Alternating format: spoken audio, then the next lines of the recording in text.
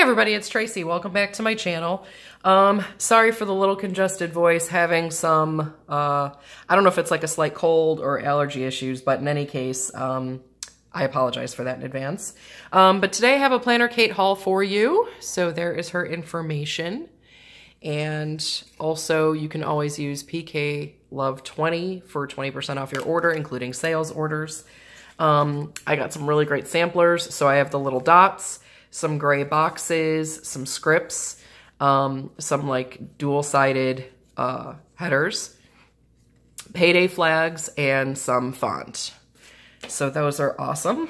Now, before I get into these, I want to get into this first. So I went ahead and I ordered um, May through September, which finishes up the year that I would end up having in my plum paper because I've decided um, probably on Black Friday, I'm going to go ahead and order the uh, next six months of my plum paper social media planner that I'm using right now, the vertical priorities. So this is the one for May. And I wanted them all to kind of match. So that was why I decided to go ahead and do this. So here's May. Um, let's do this way. Here's June. Love this pattern. There's July.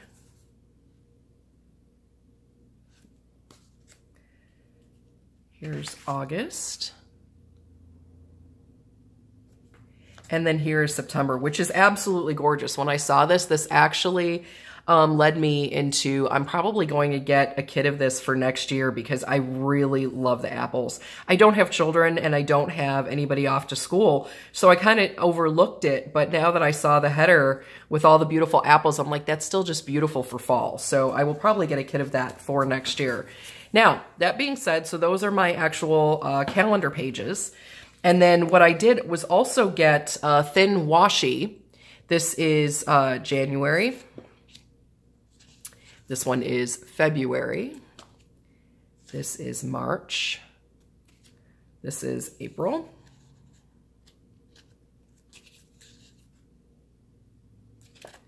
Then we've got May, which matches this one. June. July, I love this washi. August. September. And then this matches the October that's in my planner now, and this will match next month for November. So what I decided to do was get extra washi, thin washi, to go on those dashboard pages. Now, I've also since considered I might try getting um, some of the dashboard pages for the plum paper that have like the three circles. Um, because I may not order from Plum Paper. I may not order um, the neutral dividers. I really like the colorful tabs. So I think I'm going to try and make that dashboard work. Um, and actually, let me go ahead and show you what I'm talking about. Um, actually, I have to get up and get it.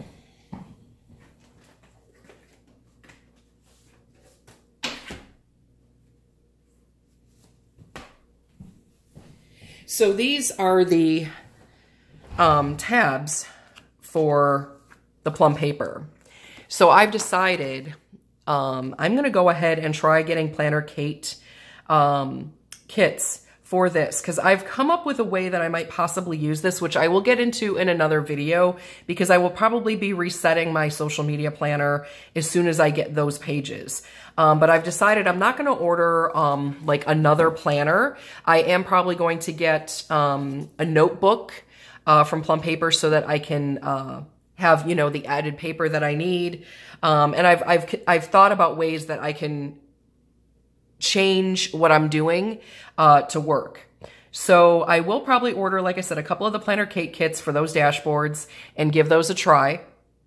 Um, and then I'll go from there. But in the meantime, I'm really happy with this because uh, I really love my planner. And just in, as a side note, let me show you my October.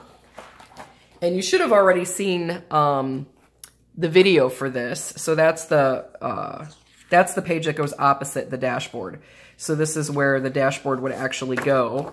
Um, and that's why I'm thinking I really would like to get the one that matches that. So we'll, we'll see. Um, I'm really considering that. Um, but again, This is my monthly. So I really love uh, the plum paper. I like uh, the way it's working.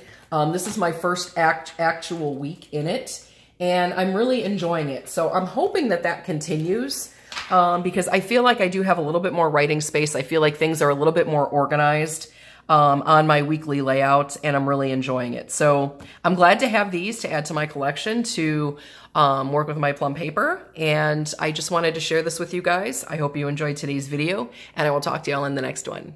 Bye.